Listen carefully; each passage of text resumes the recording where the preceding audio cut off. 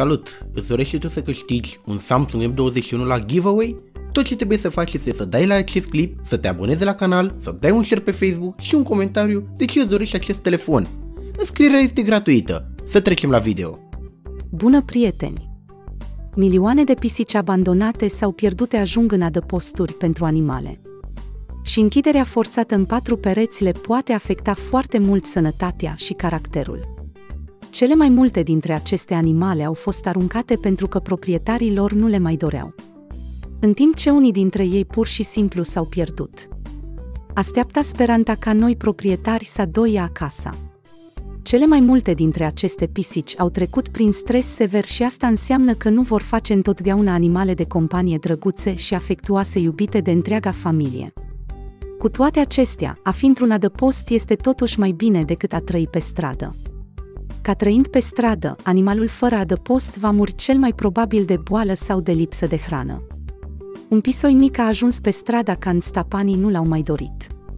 A provocat un stres îngrozitor pentru animal.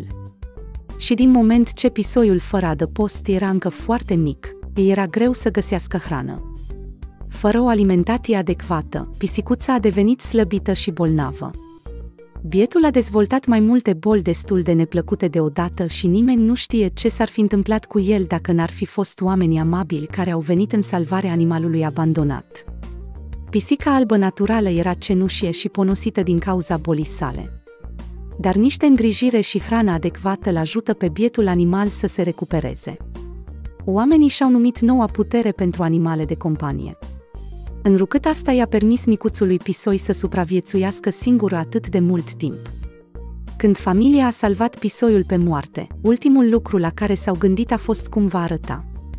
Nu au alăptat pisica până la sănătate pentru aspectul ei. Dar când pisoiul a crescut, toată lumea a fost pur și simplu imită. Dragostea și afecțiunea au transformat creatura ponosită într-un nor pufos alb de zăpadă. Uite ce frumos este! A fost nevoie de mult timp și efort pentru ca pisoiul să supraviețuiască. Micuța abia putea să-și miște labele. Dar acum punctele forte viața este pur și simplu grozavă. Are toate lucrurile de care are nevoie.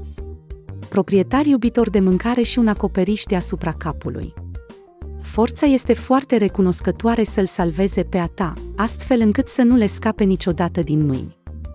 Poate fi greu de înțeles cum s-a schimbat atât de mult o pisică fără stăpân.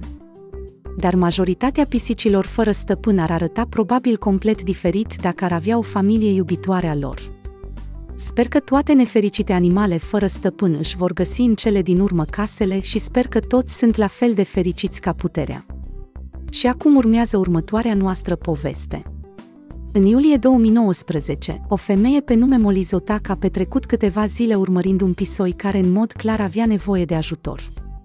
Era evident că animalul avea nevoie de îngrijire profesională. Arăta foarte rău. Potrivit femeii, pisoiul a mâncat prost și părea slăbit. Molly a spus că a hrănit pisoiul timp de 4 până la 5 zile înainte de a reuși să-l prindă. I-a pus pisoiul Nina și s-a dovedit a fi o adevărată luptătoare. Molly a pus-o pe Nina într-o cutie și în timp ce avea grijă acasă, pisoiul a încercat să scape de mai multe ori.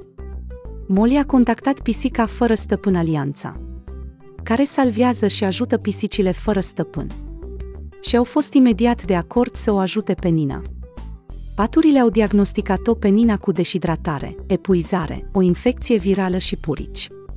Pisicuța a primit tratament și Dumnezeu mai bine. Când Nina a fost recuperată complet, au găsit o nouă familie pentru. Rebecca Sknzer a devenit noul proprietar al Ninei. Nici măcar nu știa prin ce a trecut pisica asta. Potrivit femeii, când tocmai a văzut-o pe Nina, i-a plăcut imediat. Pisica a fost redenumită Dinah pentru că Rebecca credea că pisoiul are nevoie de un nume nou în noua ei viață. La început, Diana s-a speriat. Dar asta avea sens, având în vedere prin ce trecuse ea. S-au jucat foarte mult cu pisica și asta a ajutat-o să se simtă confortabil în noua ei casă. De-a lungul timpului, Diana s-a obișnuit cu noul mediu. Acum se ascunde doar în colțuri când se joacă cu noua ei familie. Dane îi place să se întindă pe spate și să se frece pe burtă. Potrivit Rebecca, pisicii îi place să se întindă pe canapea. Și se pare că în curând nici măcar nu va mai fi suficient spațiu pentru Rebecca. Diana este încă în creștere, dar deja este evident, dar superb. Doar pisica se ascundea sub toată murdăria aceea. Familia Danei este bucuroasă să distribuie fotografii cu animalul de companie preferat pe pagina ei personală de Instagram. Așa că acum toată lumea poate vedea cum se descurcă fosta pisică fără stăpân. Ei bine, asta e tot pentru prietenii de azi. Ai salvat vreodată un animal? Și ce părere aveți despre oamenii care își aruncă animalele de companie pe străzi? Spune-ne în comentarii. Mulțumim pentru vizionare și ne vedem data viitoare.